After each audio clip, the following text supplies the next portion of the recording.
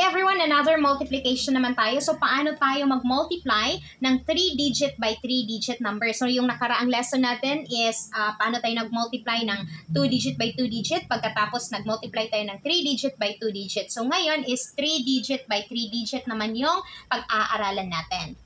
Again, this is not a multiplication trick, so ipapakita natin kung ano yung process, kung paano tayo mag-multiply ng 3-digit by 3-digit. So, meron tayong dalawang example, that is 457 times 243, and then 985 times 467. So, ngayon is mag-multiply na tayo. Uunahin natin dito sa baba. So, sa baba, meron tayong ones place tens place, and hundreds place. So, sa pag-multiply, uunahin natin lagi si ones place. Si ones place, i-multiply natin dito lahat. So, magsimula din tayo sa ones place dito sa taas. So, 3, i-multiply natin kay 7 na nasa ones place, tapos kay 5, kay 4. Pagkatapos natin kay ones place, kasunod naman si tens place. Si tens place, i-multiply natin again kay ones place, 7, 5, at 4. Pagkatapos, si hundreds place or si 2, i-multiply natin again kay 7, 5, 4. So, ganun yung process niya ha. Dito sa ones place, i-multiply natin dito una kay 7, papunta dito sa left. And then si 4, galing dito sa right, papunta sa left. And then si 2, galing dito sa right, papunta sa left. So, ganyan. Ngayon is mag-multiply na tayo. So, 3 times 7 is equal to 21. So, si 21, ano yung i-bring down natin? Si 1 kasi siya yung nasa 1's place at si 2 is i-carry natin. So, again, 3 times 7 is equal to 21. So, bring down 1, carry 2. Saan natin i-carry si 2? Sa kasunod na number ni 7. Ano yung kasunod na number ni 7? Si 5. So, ibig sabihin dito natin i-carry si 2 kay 5. So, carry 2. Again, 3 times 7 is equal to 21. So, bring down 1, carry 2. So, 3 times 5, dahil tapos na tayo kay 7, si 5 naman. So, 3 times 5 is equal to 15. Huwag natin kalimutan ang carry natin. So, 15 plus 2 is equal to 17. So, si 7, ang i-bring down natin. Pagkatapos, si 1 is i-carry natin sa kasunod na number ni 5. Ano yung kasunod na number ni 5? Si 4. So, dito natin i-carry si 1 kay 4. So, carry 1. Next, dahil tapos na tayo kay 5, so si 4 naman. So 3 times 4 is equal to 12. Huwag natin kalimutan ang naka-carry na 1. So 12 plus 1 is equal to 13. Meron pa ba tayong kasunod na number? Kay 4? Wala na. So, ibig sabihin, i-bring down natin lahat ang sagot natin na 13. Hindi na tayo mag-carry. So, unahin natin pagsulat si 1's place, which is 3 sa 13, and then 1. So, wag niyong unahin si 1 ha, tapos si 3 kasi magiging 31 yan siya. So, unahin natin, natin lagi si 1. So, 3 tapos 1. Okay? So, next naman is 4. So, si 4 i-multiply kay 7, kay 5, at kay 4. So, 4 times 7 is equal to 28. So, saan natin? O, oh, si 28. Okay? So, si 1's place ang ibaba natin, si 8. Pagkatapos si 2 ang i-carry natin. So, saan natin isusulat si 8? Si 8 is isulat natin dito nakalinya kay 4. So, kung saan yung minomultiply mo, doon mo isulat ang iyong sagot. So, dahil si 4 yung minultiply natin, dito natin isusulat sa kalinya niya si 8 or sa 10's place. So, 8. At pagkatapos ito is i-carry natin sa kasunod na number ni 7. Ano yung kasunod na number ni 7? 5. So, dito natin i-carry si 2. So, i-crush out natin itong 2 kanina para hindi natin siya masali. Ayan. So, carry 2. Ngayon, si 5 naman. So, 4 times 5 is equal to 20. Meron tayong naka-carry na 2. Huwag natin kalilimutan palagi yung naka-carry na number. So, 20 plus 2 is equal to 22. So, bring down 2 and then i-carry natin si 2. Saan natin i-carry si 2? Sa kasunod na number ni 5, which is 4. So, carry 2 tayo dito and then crush out si 1.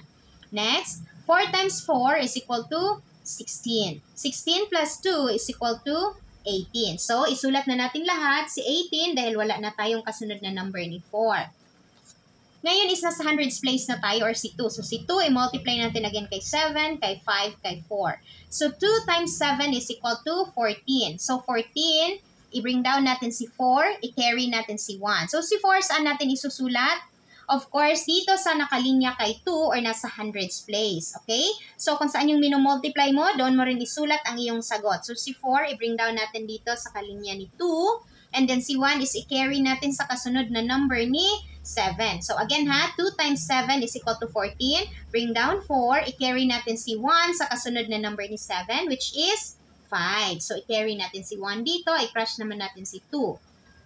Next is 2 times 5 is equal to 10. Huwag natin kalimutan ang naka-carry which is 1. So 10 plus 1 is equal to 11. So bring down 1 and then carry 1 dito sa kasunod na number ni 5 which is 4. I-crush natin again si 2. And then 2 times 4 is equal to 8. 8 plus 1 is equal to 9. Ayan.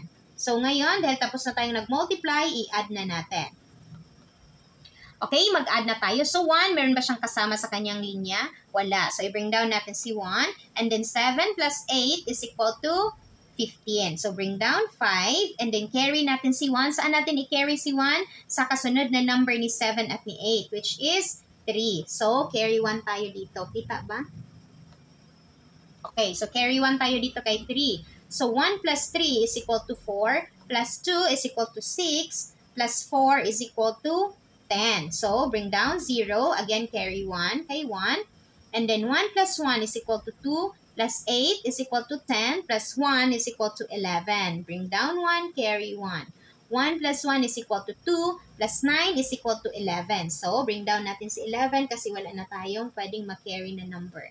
Ayan. So, ang sagot sa ating 457 times 243 is equal to 111,051. Okay, another example tayo, 985 times 467. So again, ang uunahin nating i-multiply is ang nasa ones place. Dito lagi tayo sa baba mag ah, dito lagi sa baba ang titingnan natin, wag dito sa taas. So unahin natin si ones place, i-multiply natin galing kay 5 papunta kay 9. And then si 6, i-multiply natin galing kay 5 papunta kay 9. Pagkatapos si 4, i-multiply natin galing kay 5 papunta kay 9. 7 times 5 is equal to 35. So, 35, again, si 5 is i-bring down natin si 5. And then si 3 is i-carry natin si 3. Saan natin i-carry si 3? Sa kasunod na number ni 5. Ano yung kasunod na number ni 5? 8. So, ibig sabihin dito natin ilalagay si 3. So, 7 times 8 is equal to 56. So, 7 times 8 is equal to 56. Huwag natin kalimutan ang naka-carry na 3. So, 56 plus 3 is equal to 59. So, i-bring down natin si 9 i-carry natin si 5 sa kasunod na number ni 8 which is 9. So, carry 5. And then 7, 7 times 9 is equal to 63. So, 7 times 9 is equal to 63 plus 5 na naka-carry is 68. So, isulat na natin lahat kasi wala nang kasunod na number ni 9. So, 68. Uunahin natin si 8 sa pagsulat and then si 6. Dahil tapos na tayo kay 7, so si 6 naman ang i-multiply natin. So, nasa tens place na tayo. 6 times 5 is equal to 30. So, i-bring down natin si 0. Saan natin ilalagay si 0? Dito sa linya ni 6 or sa tens place. So, ilagay natin si 0 dito.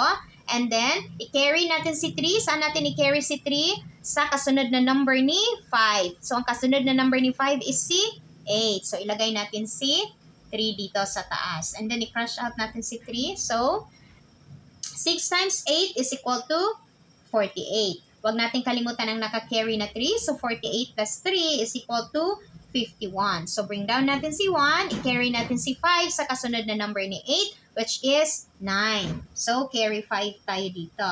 And then, crush out natin si 5 para hindi natin siya masali.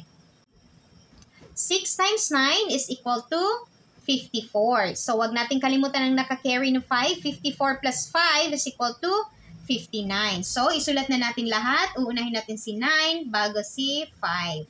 Next is nasa hundreds place na tayo.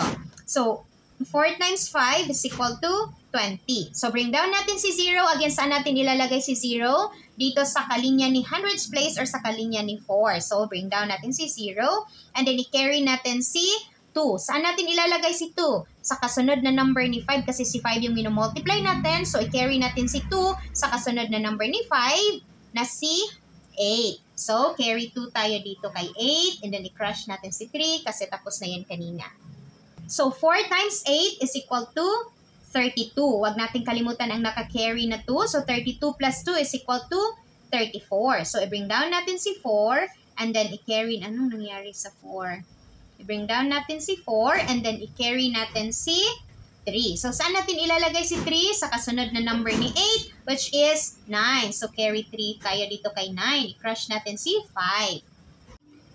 4 times 9 is equal to 36. So, meron tayong naka-carry na 3. 36 plus 3 is equal to 39. So, isulat na natin lahat ang 39 kasi wala nang kasunod na number. Unahin natin si 9, ang ones place, pagkatapos si 3. At ngayon is pwede na tayong mag-add. So, mag-add na tayo. Si 5 is wala siyang kasama. So, i-bring down natin si 5. Kita pa ba sa baba? Okay. So, 9 plus 0 is equal to 9. And then, 8 plus 1 is equal to 9.